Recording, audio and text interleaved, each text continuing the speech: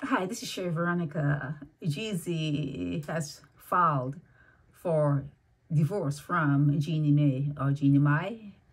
Um, it doesn't work. I, I hate to break it to you, but it's something that is unnatural. And people who stay in it are people who are actually afraid of being alone or people who can take a monumental set of abuse. They just can't take it. Some people, you can do any thing to them and they just stick around you come back and they're still there. It's like oh my god you're still here? You can't believe they're still there. But there are some people who are built to take abuse. Marriages do not work.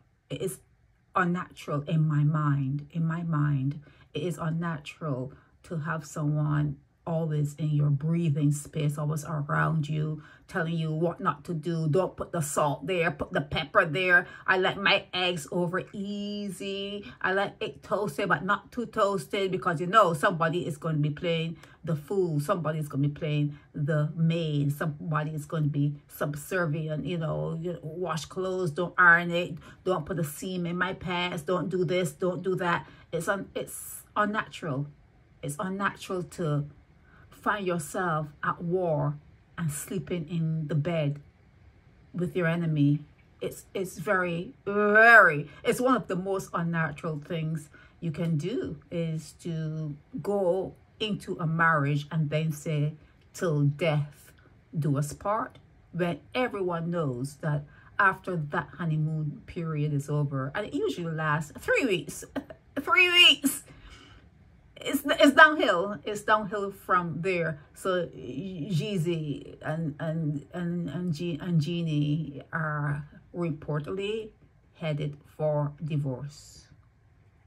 As to be expected, like I said, if you're still with the person, you're someone who can take abuse.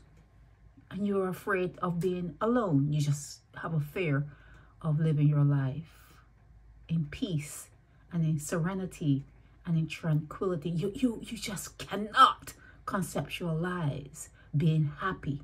You cannot. You do not know. You do not want to be. You, it, it's so far from your mind that you can be happy alone. So you stay where you are and you, you shock people every time they open the door and see you there. It's like, you're still here?